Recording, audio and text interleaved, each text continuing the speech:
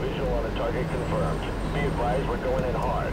Red Mm. Dr. Lawrence Foster, Gentek senior virologist, cricket champion, and member of Mensa.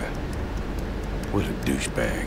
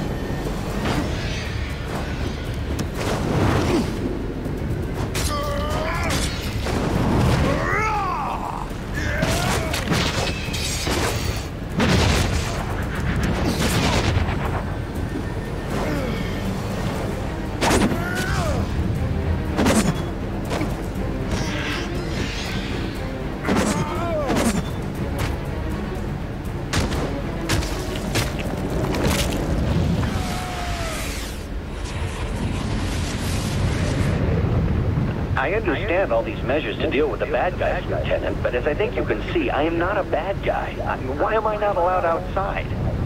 These security measures are for your benefit, Dr. Foster. Now, I'll thank you to step back behind the cordon. I'll do no such thing. My office is literally next door, and I see no reason why... I...